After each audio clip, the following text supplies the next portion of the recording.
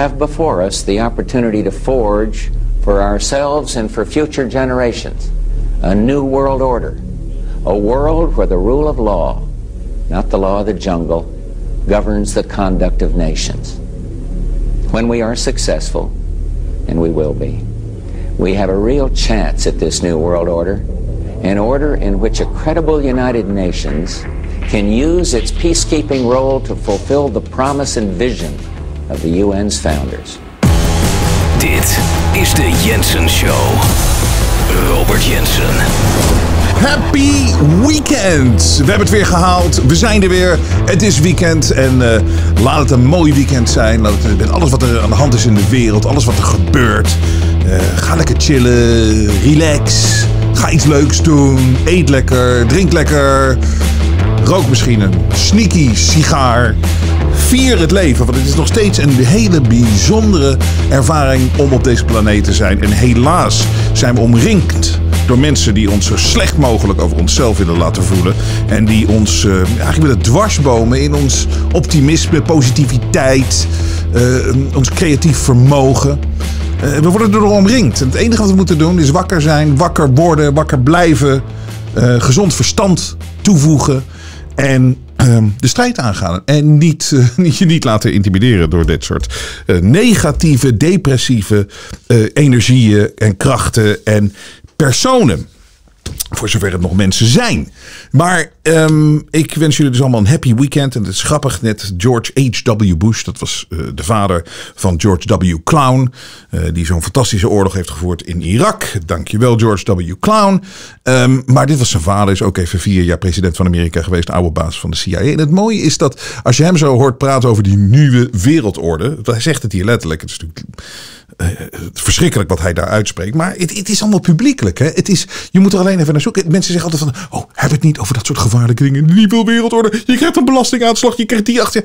Het is gewoon publiekelijk. John McCain had het er altijd over. En zelfs uh, uh, La Rutte, Mark Rutte heeft het tegenwoordig over de, de, de, de multi, wat is het, de bilaterale, multilaterale wereldorde. Dus hij praat ook over die wereldorde. Het is niet geheimzinnig. Het ding is gewoon, ja god, die gasten hebben dat plan ooit gehad.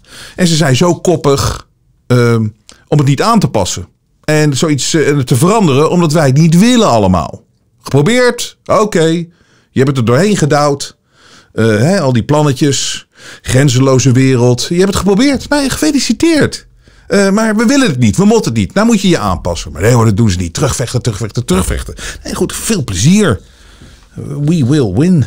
Um, het ding is... Um, ik wil voordat ik heb een heel bomvolle show vandaag. Ik wil een media watch doen. Er is zoveel te bespreken natuurlijk over. Ik wil de kijkersvraag vrijdag gaan we natuurlijk doen. Dat is een van mijn favoriete onderdelen van de week. Uh, maar ik wil eerst even gewoon toch mijn dankbaarheid even uitspreken op deze uh, vrijdagavond. Um, voor gewoon ja eigenlijk dankbaarheid aan het bestaan namens mezelf. Dus wat het namelijk is, ik ben deze week en eigenlijk de afgelopen weken ben ik um, eigenlijk zo bevestigd. Er is voor mij bevestigd. En ik ben zo dankbaar eigenlijk dat mij getoond is dat de keuze die ik gemaakt heb om dit te gaan doen.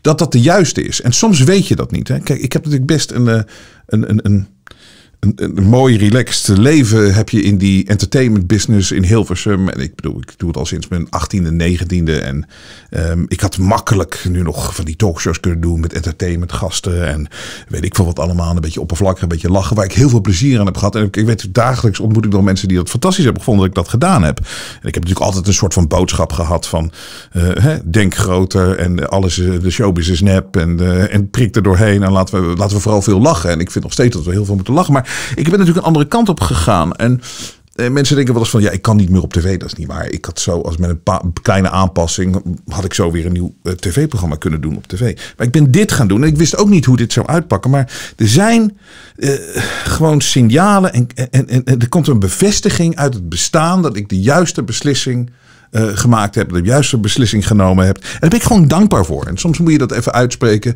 En dat is ook voor het echt het allergrootste gedeelte uh, dankzij de steun die ik krijg van mensen die dit belangrijk vinden dat ik dit doe.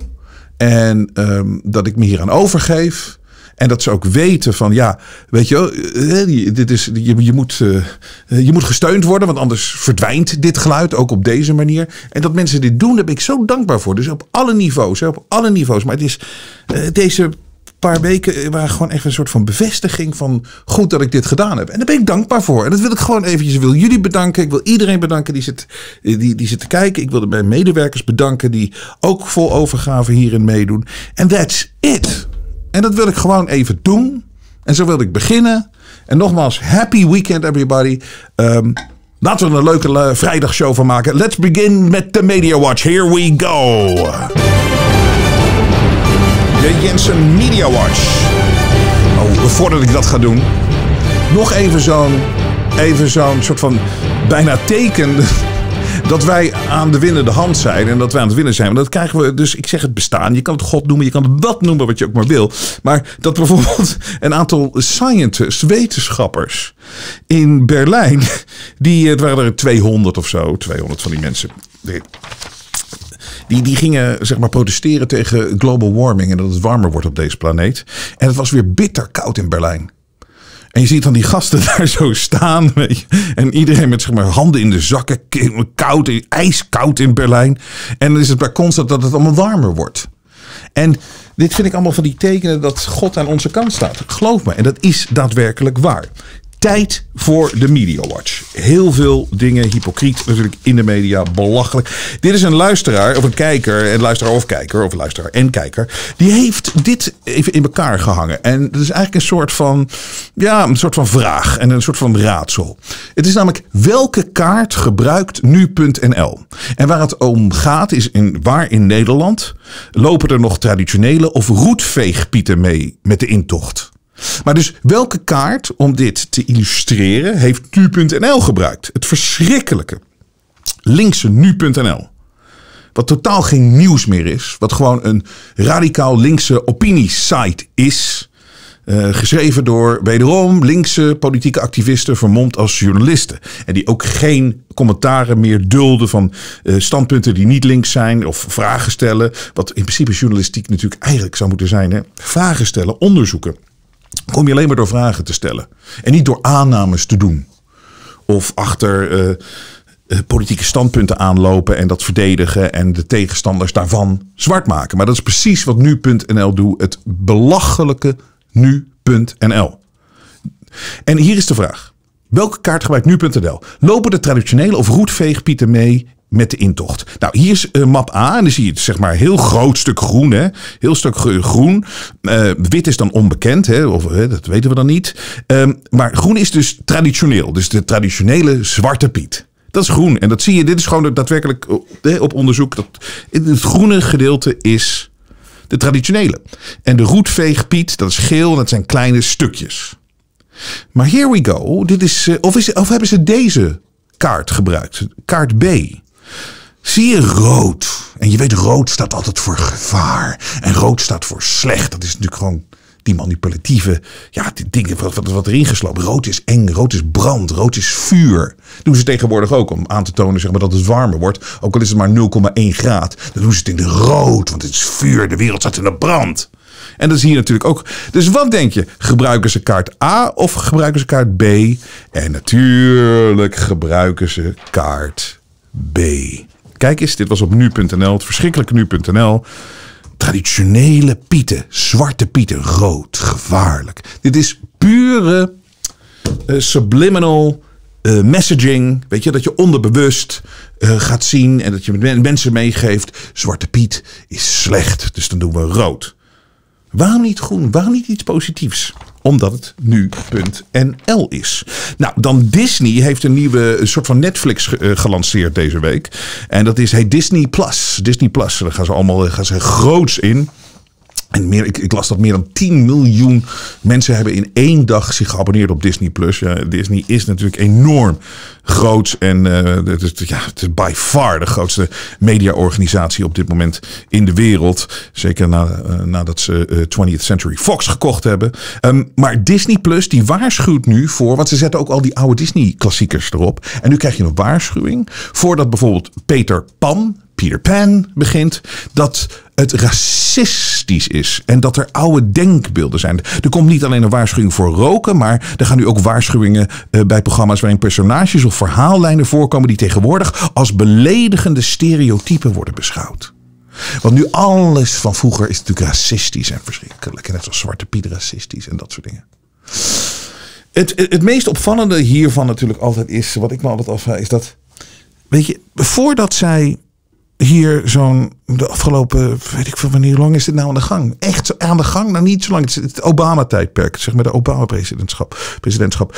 Daarvoor waren we eigenlijk allemaal heel goed met elkaar bezig. Hè? Dat was helemaal niet, we dachten er nooit over na, die huidskleuren. En langzaam maar zeker gingen we, waren we eigenlijk met een soort van natuurlijke integratie bezig.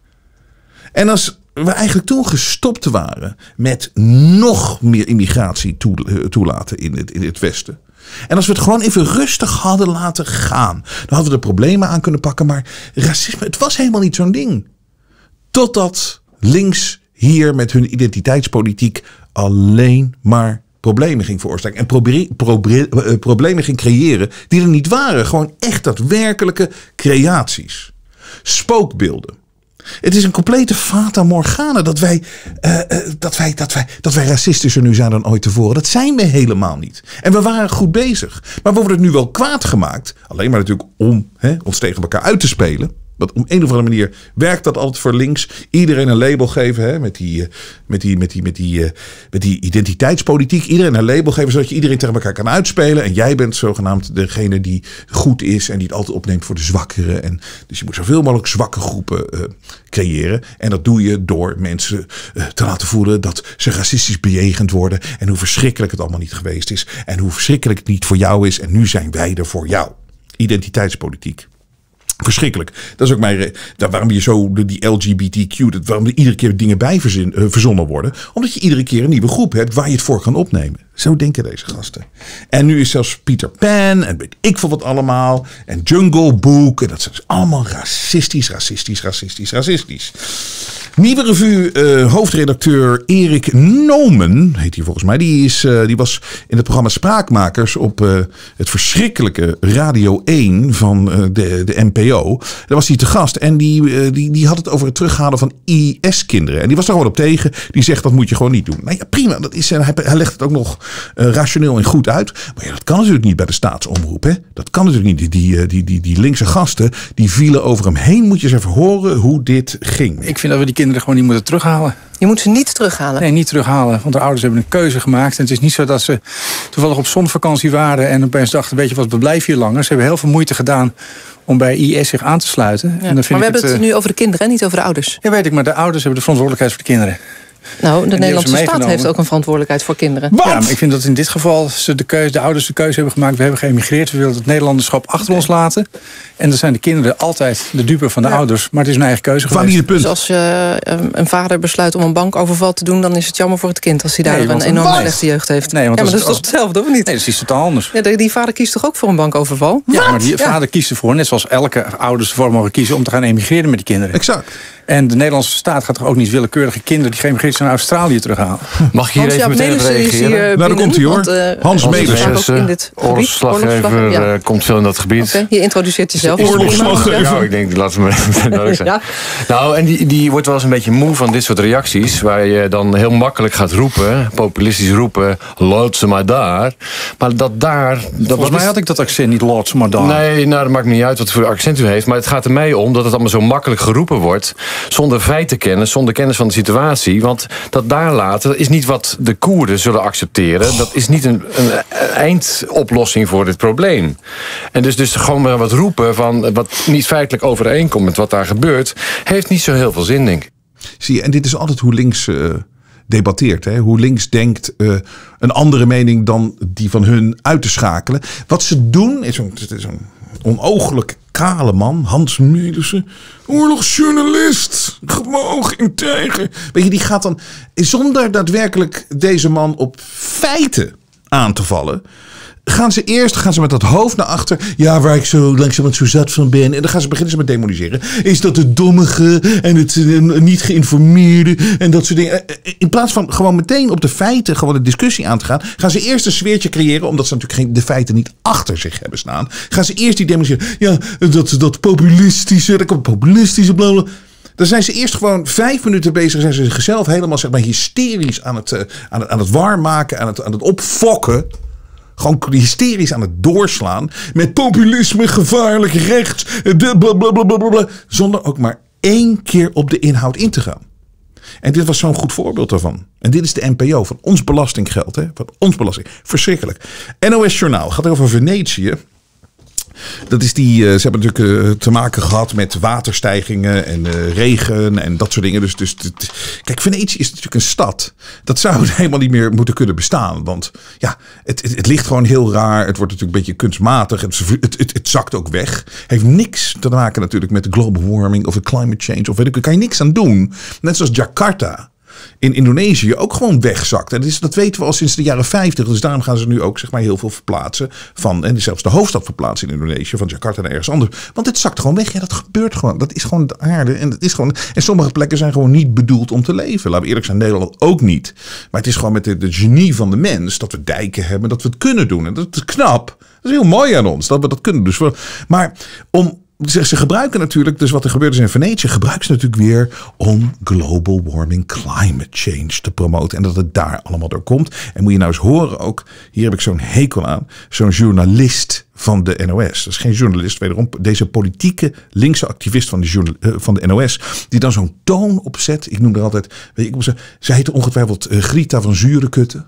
En dan gaat ze, en dan gaat ze zeg maar zo'n stem doen van Venetië ligt helemaal onder water. Het is een drama. Een beetje zo'n huidige stem. Puur manipulatief. Puur manipulatief. Je kan toch ook, we zien toch wel wat er gebeurt. Als je nou het nieuws vertelt, je hoeft echt niet zo'n lading ermee te geven. Maar dit geeft aan dat gewoon actrices zijn en acteurs. Verschrikkelijk. Luister naar die huilenbalkstem. En natuurlijk dat gewoon eventjes gezegd wordt dat het nu komt door. Nou, je weet het al. Wateroverlast in Italië. Nadat het daar dagen achtereen hard heeft geregend. En Venetië kampt zelfs met de ergste overstroming in 50 jaar. De burgemeester heeft de stad tot rampgebied verklaard. De harde wind stuwt het vloedwater ver de stad in. De stad. Bij dit hotel klotst het tegen de gevel. Met zoveel water is er geen houden aan. is geen houden Venetië is wel wat gewend. De stad overstroomt vaker. Maar dit waterpeil is uitzonderlijk. Dit is de iconische basiliek van San Marco. Die stond de afgelopen duizend jaar slechts zes keer onder water. Maar wel al vier keer in de afgelopen twintig jaar. De burgemeester wijt het aan klimaatverandering en roept op tot actie. Ja, en dat is dat laatste erbij. Het is klimaatverandering. Daar wijt hij het aan. Maar ze zeggen er niet bij dat in 1966 het veel erger was. Hetzelfde probleem, maar veel erger in 1966. Toen er nog geen climate change was. En uh, global, natuurlijk was er wel climate change. Het klimaat verandert altijd. Je begrijpt wat ik bedoel. Leugenachtig, leugenachtig. En een van de ergste dingen is natuurlijk hoe mensen door de NOS en de NPO eh, natuurlijk van jongs af aan al beïnvloed wordt. Ik bedoel, het onderwijs is verschrikkelijk, de media afschuwelijk. En ze hebben een soort van monopolie op het jeugdjournaal en op uh, NOS Stories online. En dit ging natuurlijk over de stikstofcrisis. Moet je nagaan hoe dat aan kinderen wordt uitgelegd. De uitstoot van stikstof in ons land is namelijk zo hoog dat de natuur daar erg last van heeft. Ja, even over dat stikstof. Daar is op zichzelf niets mis mee. Mensen en dieren hebben het zelfs nodig. Maar in combinatie met andere stoffen in de lucht, die bijvoorbeeld worden uitgestoten door auto's, boerderijen of bouwmachines, is dat slecht voor bomen en planten. Welke stoffen? Welke stoffen dan? Slecht voor bomen en planten. En zie je hoe de boeren hier ook weer onder de, uh, onder de bus gegooid worden? Hoe de boeren hier weer gedemoniseerd worden aan, aan jonge mensen. Ongelooflijk. En dit was ook weer een ander eh, stuk uit het jeugdjournaal. En nog een maatregel. Er komt extra geld voor boeren die willen stoppen met hun bedrijf. Want boerderijen dragen voor een groot deel bij aan de stikstofproblemen. Ja, dan gaan de boeren weer. De boeren weer. Boeren weer. Die stikstof, het is ongelooflijk. Terwijl je hoeft, het is allemaal zo slecht voor planten en dat soort dingen. En het is allemaal zo eh, af, afgrijzelijk, afgrijzelijk, afgrijzelijk, afgrijzelijk. Maar de NASA zegt zelf dat de aarde tegenwoordig groener is dan 20 jaar geleden. En ze zeggen dat het komt door China en India. Maar er zijn, er zijn zoveel redenen. Het is ongelooflijk. Ze kunnen, de, wetenschappers begrijpen er niks van. Hè? De aarde wordt maar groener en groener en groener en groener. Terwijl ons altijd verteld wordt dat er geen uh, groen meer is. En het is allemaal verschrikkelijk. En het is, uh, de aarde groeit niks meer. Maar het wordt groener. Het is nu groener vandaag dan 20 jaar geleden. Maar dat wordt dan even niet verteld bij die stikstof. Die arme boeren. Die helden, die fantastische gasten. Die worden weer hier zwart gemaakt. Dit is um, NOS reisstijl. Oh, dit is bij de NOS, ja. Dit was fantastisch. Dit is um, een psycholoog verkeersgedrag. Bestaat dat? Een psycholoog verkeersgedrag. Hij heet Gerard Tertolen. Ligt de boel hier even aan elkaar. Van ons publiek geld. Als je 130 mag, kun je dan veel tijdwinst eh, boeken? Uh, nou, dus eigenlijk niet. Hè? Want uh, als je bijvoorbeeld van Weert naar Groningen gaat, dat is 300 kilometer. En je zou non-stop 130 kunnen rijden. Dan ben je 12 minuten eerder op je bestemming. Dus dat is ongeveer 7% reistijdwinst. En daar moet je dan dus 300 kilometer ongestoord 130 voor kunnen rijden. En dat kan natuurlijk nooit. Dus uh, de echte tijdswinst is nog aanzienlijk minder. Oké, dus het, het, maakt allemaal niet zoveel uit in die tijd. Maar goed, ja, ik ben niet het beste in rekenen. Dus als ik fout ben, laat het me weten, robert.jensen.nl. Maar hij zegt dus als je non-stop 100 km per uur rijdt. Non-stop, hè. Maar als je dan 100 km per uur rijdt, ben je dus drie uur onderweg. En dat is een tijdsverschil van 42 minuten en niet 12 minuten. Als je nou tussen 130 en 100 is 30% verschil. Waar haalt hij die 12 minuten vandaan? Ah, het valt allemaal wel mee. Nee, het is 42 minuten. Vertel me maar als ik fout zit. Trump wordt weer natuurlijk ouderwets gebashed neergezet als de domste persoon ter wereld door het afgrijzelijke Nieuwsuur. Dit is de verschrikkelijke Arjen van der Horst van Nieuwsuur in gesprek met Cory Breitschneider van de New York Times onder andere en Politico.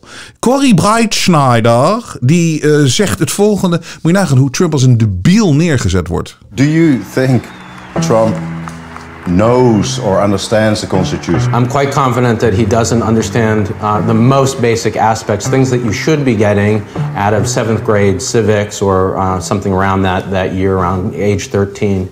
You're soliciting the help of a foreign government in trying to prosecute and persecute a political opponent. That's about as clear an abuse of office as you can get. Dit is ongelooflijk dat deze man zegt dat Trump zo dom is dat hij de Constitutie niet begrijpt. Dit is gewoon. Trump je kan zeggen wat je wil. Ik weet dat heel veel mensen kunnen niet tegen zijn toon en weet Maar de man is briljant. Hij gaat voor het presidentschap van Amerika de eerste keer. Hij is geen politicus en hij wordt president. Dan ben je briljant. En de man heeft zakelijk genoeg neergezet. Hij, heeft, heeft de entertainment business heeft hij echt over. Hij, was de grootste tv-ster tien jaar lang in Amerika. Ben je briljant. Als zakenman heeft hij het fantastisch gedaan. Ja, nee, maar hij heeft toch ook wat eh, mislukt en een aantal dingen zijn failliet gegaan. Ja, iedere zakenman heeft dat. Maar kijk eens hoe hij erbij zit. Fantastisch heeft hij het gedaan. Dus deze man is zeker niet dom en hij begrijpt de Constitution. En deze Cory Albrechtschneider. We moeten even kijken hoe, hoe, uh, hoe objectief en integer deze New York Times journalist is. Die heeft uh, laatst gooide hij nog een tweet uit. Has the president resigned yet? What more do we need? Vraagteken. Dus dit is een Trump-hater. En die wordt er nieuwsuur wordt dus even hè, opgetrommeld als expert. Verschrikkelijk allemaal. Verschrikkelijk allemaal. Jongens, mijn dank is groot voor al. Heb je tips overigens? Media at Jensen. Of media, wat is het? Media at Jensen? Media, hè? Media at Jensen.nl. Media at Jensen.nl. Kom door met die tips. Hè? Want het is hartstikke leuk om die media constant, de media constant te exposen. En ik ben ook heel erg dankbaar voor onze uh, de bedrijven die ons sponsoren en steunen. Um, we hebben een nieuwe, dat is Moringa's Finest. Kijk eens wat zij hier hebben. Ja, dit lijkt net alsof ik hier wat wiet heb. Uh, of dat, maar dat is, uh, het, is, het is de prachtige producten, pillen. We hebben uh, dus Moring, Finest. En moringa is een plant met zoveel voedingsstoffen dat het gezien kan worden als een, een natuurlijke multivitamine. Het bestaat echt, ik geloof daar 100% in, 100.000% in. Ze hebben thee, ze hebben pillen hier. Het is fantastisch. Het is een groene wonderplant. En is uh, verkrijgbaar in de vorm van tabletten, capsules, poeder en thee. Het verhoogt de weerstand en geeft energie.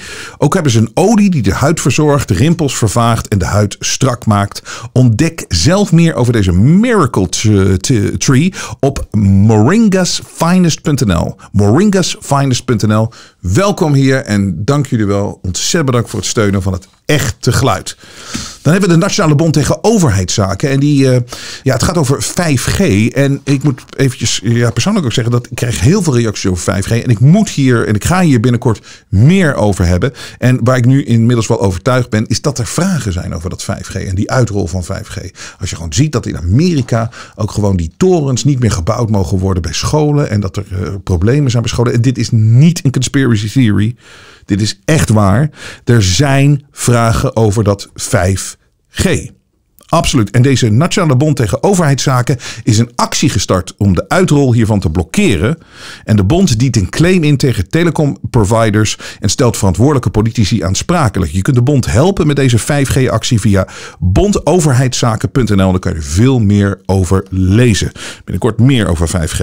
Um, eindspel. Wat moet je doen om je vermogen te beschermen als het huidige systeem tegen de rotsen knalt? Nou, Maarten Verheijen waarschuwde zijn lezers voor de crisis in 2000. 2008 en is ervan overtuigd dat het huidige financiële systeem gedoemd is om te mislukken en vreest dat de eindfase nu zeer dichtbij is. Daar, uh, daarover lees je in het gratis e-book van Maarten Verheijen en je kan het downloaden via eindspel.nl. Gewoon gratis. Dit zijn allemaal supporters van het echte geluid. Support ze uh, alsjeblieft en mijn dank is wederom groot. Dames en heren, tijd nu voor Kijkersvraag Vrijdag. Ja! Het weekend in met de kijkersvraag vrijdag. Krijg zoveel e-mail en dank daarvoor robert.jensen.nl. Ik lees het allemaal en ik eh, kan natuurlijk, dat uh, begrijpen jullie, maar een aantal dingen gebruiken. En uh, uh, ja, het is echt heel inspirerend wat ik allemaal binnenkrijg. Dus, dus dank jullie wel. Um, even een paar. Beste Jensen, we laten onze dochter van 9 ook meekijken naar je shows. Niet allemaal, maar die over vandaag over de so-called milieu, milieucrisis en de stikstofcrisis. Want dat hoorden ze nu al in groep 6. Wordt ze al geïndoctrineerd met de zogenaamde feiten over stikstof. Waardoor ze bezorgd thuiskomt met vragen zoals: Als we te veel stikstof uitstoten, dan stikken we, hè, mam? Ja, Stefanie, ik, ik, ik vind echt. Ik heb zo te doen met ouders tegenwoordig. En ik, ik vind het zo crimineel dat het, uh, mensen in het onderwijs dit soort leugens verspreiden. Het is soort politieke leugens en de kinderen bang maken. Want dit is ook weer zo echt zo'n e-mail waar, echt uitkomt wat ik altijd al zeg. Ook over die, dat, waarom ik zo hard over die climate change altijd ga. En die, in, die, in die klimaatverandering, maffia. En waar ik er zo hard tegenin ga. Je maakt kinderen bang met daadwerkelijk dingen die ze helemaal niet zouden moeten horen. Want het is allemaal leugens. En het zijn allemaal politieke dingen waar ze niet meer lastig worden. Maar kinderen liggen gewoon wakker in hun bed s'nachts omdat ze gehoord hebben op school. Moet je nagaan, groep 6. Dit, is, dit breekt toch je hart. Maar zie je ook hoe deze linkse gasten gewoon meedogenloos zijn. Nul empathie. Hè? Ze zijn de eerste die praten over empathisch en vermogen. Je hebt geen empathie. Maar... Ze hebben nul empathie. Ze denken nooit na hierover. Ze maken kinderen bang. Oh, ik kan hier heel kwaad om worden. Hè? Het is toch zo zielig. Mam, als we te veel stikstof uitstoten, dan stikken we, hè, mam? En dan moet je... Maar Stefanie, heel goed dat je het laat zien. En uh, ik weet dat, dat veel ouders dat doen met hun kinderen. En uh, fantastisch. Maar vandaar dat ik haar jouw betere, ware kant van het verhaal laat horen en zien. Ze worden vanzelf ouder en ze zal het wel beter begrijpen. Ik denk het ook hoor. Er zit iets in ons een DNA bij veel mensen. Ik weet, heel veel mensen worden gehersenspoeld, maar ik denk dat het niet 100% gaat lukken, maar wel veel en te veel. En dat is gevaarlijk. Uh, maar heel goed om ze bewust te maken, je kinderen op jonge leeftijd. Ik zeg bedankt en ga ze door met in de hoop dat wij winnen. Nou, we zijn zeker aan het winnen. En dat lijkt soms niet zo, maar geloof me, het is zo. Beste Robert, ik durf te voorspellen, dat is ook zo mooi, die stikstofkiezer van, uh, van Rutte. Ja, we willen toch niet dat, uh, dat, dat, dat, de hele bouw, dat Nederland op slot en dat alle bouwvakkers met de kerst thuis zitten. En ik vind dit wel een goed punt van Jan. Ik durf te voorspellen dat er tijdens de kerstdagen niet één bouwvakker werkt. Ook niet als we 80 rijden op de snelweg. Het is al 40 jaar de gewoonte van de bouwvak om de twee weken tijdens de kerstdagen en nieuwjaar vakantie te hebben. dat is natuurlijk helemaal waar. Zoveelste leugen. En je weet hè, van 130 naar 100 gaan. Wat bespaart dat aan stikstofuitstoot? 0,2 procent. 0,2 procent. Leugen, leugen. En dat is nogal hoog. Hè? Dat is een hoge schatting, 0,2. Dus waarschijnlijk 0,1. En waarschijnlijk is het helemaal niks.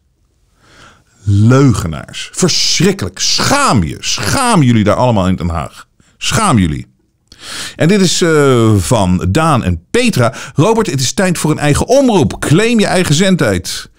En um, ik moet je zeggen dat uh, ik krijg veel van dat, soort, uh, van dat soort berichten. Van ga gewoon voor een publieke omroep. Je hebt genoeg steun. En dat heb ik ook. En het zou, ik, ik zou, het zo, het zou, zou het zo kunnen regelen. Maar ik ben ervan overtuigd dat dat zo'n uh, uitzichtloos ding is. Zo'n publieke omroep. Het gaat zo snel. Anno 2019, je zal zien binnen nu een paar jaar is er zoveel veranderd als het gaat om technieken. Ik durf bijna ook te zeggen dat er dingen als, weet je wel, niet te hard zeggen, maar als je zit te kijken op YouTube en dat soort dingen. Zelfs dat gaat enorm veranderen. De vraag is of Facebook er nog is over tien jaar. Dat lijkt nu heel gek. Dat lijkt nu heel gek. Maar het was er 15 jaar geleden ook niet. En als je ziet wat de veranderingen zijn, het is echt heel erg groot. En dat is veel leuker. En dat is veel beter. En dat is de toekomst. En wat wij hier aan het doen zijn, en waar we het over hebben, dat is de toekomst. Dat is de binnen toekomst. En dat uh, uh, vereist een andere strategie. En ik heb daar een andere visie over. En een publieke omroep, they can kiss my fucking ass. Dat, is, oh, dat wil ik nog even zeggen. We hadden weer even op, als je YouTube kijkt, abonneer je op YouTube. Want dan is de grootste kans dat je alle video's te zien krijgt. Als je gewoon wacht tot het. De, tot, totdat je te zien krijgt, zeg maar, tot het uh, oppopt, als het ware kan je nog wel eens wat missen. Want onze aflevering 46 is door YouTube uh, in de categorie 18 plus geplaatst. Out of the blue. Ik krijg je zo'n 18. Terwijl, ik heb, we hebben het nog eens over gehad. Ik heb het met Rupert Pupkin, de borderline alcoholistische producer van de Jensen podcast, nu met zijn eigen Instagram pagina, die Rupert Pupkin over gehad. Wat zat er nou in dat het zo erg. En onze conclusie is uiteindelijk dat waarschijnlijk wat, waarom het 18 plus is, omdat wij foto's erin hadden van travestieten. En mijn hele punt was, die travestieten die traden op voor uh, hele jonge kinderen. En weet je, ze hadden benen wijd, die travestie. Het was echt te smerig voor Maar mijn punt was dus dat, dat, dat, dat, dit is helemaal geen. Travestie, daar moet je niet jonge kinderen al mee opdringen. Dus dat was mijn punt. En dat is waarschijnlijk. Het feit dat ik zeg dat kinderen daar niet moeten, moeten kijken, hebben ze 18 plus gemaakt. Dus Waardoor je waarschijnlijk niet gezien hebt. En, en zo werkt dat. Maar je weet, op jensen.nl vind je altijd alle uitzendingen. En dit is geen YouTube. We doen het ook. We zetten online. We hebben de podcast natuurlijk. En, en dat soort dingen. Het staat overal. Maar dat je dat even weet. Ik heb daar veel berichten over gehad. Ik moet mijn leeftijd invullen. Ja, dat is daarom. Robert, even een klein berichtje hier uit Canada. Ik ben geëmigreerd met mijn familie toen ik 13 jaar was. En in 1974 was dat. En woon nu ruim 45 jaar hier in Canada. Mijn vrouw en ik kijken elke avond na het eten naar jouw show. Het is zo verfrissend om uiteindelijk weer eens de echte waarheid te horen. We zijn het echt 100% met jou eens over alles. Vooral wat hier speelt in Amerika. Ga door, ga door, ga door, ga door. Vanavond uh, las je iets voor. Een vergelijking tussen Jesse Klaver en Justin Trudeau. Eén ding weet ik zeker. Het zijn alle twee warhoofden. Nogmaals bedankt en ga door. Ben uit Ontario, Canada. Hartstikke leuk dat je kijkt daar in Ontario. Uh, ik heb er zelf ook een verleden daar in Toronto. Uh, het ding is dat uh, ik krijg zoveel e-mails van, over de, van Nederlanders over de hele wereld die zitten te kijken. Over de hele wereld, iedere dag weer. Het gaat echt van Azië naar Zuid-Amerika, naar Noord-Amerika. En uh, dus veel in Europa. En wat mij opvalt, en dat zei ook laatst iemand tegen mij, en die had een goed punt, die wordt ook in het buitenland. En die zei van, ja, vaak Nederlanders die in het buitenland of geëmigreerd zijn, die hebben vaak een helderder beeld over Nederland dan de mensen die in Nederland zelf wonen. En dat is, dat is, dat is waar. Ik, ik zie dat aan de e-mails.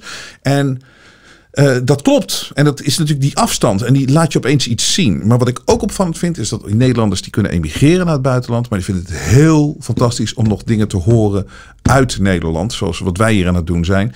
En uh, ze volgen het allemaal op de voet. En dat is ook weer zoiets van. Heel veel mensen zeggen van ja, zal ik emigreren? Zal ik emigreren? Nou goed, als je het wilt, tuurlijk. Maar het is blijft zo dat no matter where you are, there you are. En dat betekent ook dat Nederlanders, die blijven zich ook Nederland, Nederlander voelen. Ook al zit je in Canada. En ik uh, ben blij en trots dat er heel veel mensen over de hele wereld kijken en daar iets aan hebben. Dus Ben, thank you very much. En heel veel succes daar in Canada. Want met meneer Trudeau hebben jullie ook een probleem. Um, beste meneer Jensen, graag wil ik uw aandacht vragen over een docu op Videoland. Het heet Boze Boeren. Daar wordt gesuggereerd dat de boeren schuld hebben aan het astmapatiënten en de dood.